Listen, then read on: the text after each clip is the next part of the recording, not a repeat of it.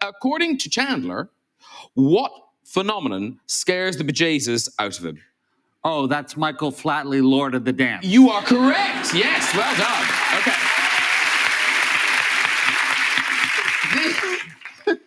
what is the name of Chandler's father's all male burlesque? I actually know that too. That's Viva Las Gaygas.